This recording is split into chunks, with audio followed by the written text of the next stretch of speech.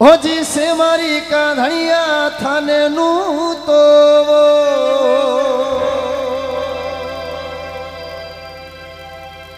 हो जी उदयपुर धरती पर बेगाव भगता बुलाया